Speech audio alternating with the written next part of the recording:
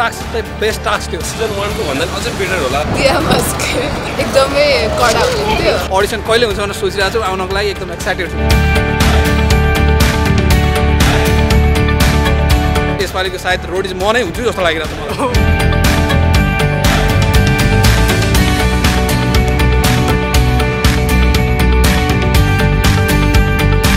Himalaya Rhodes two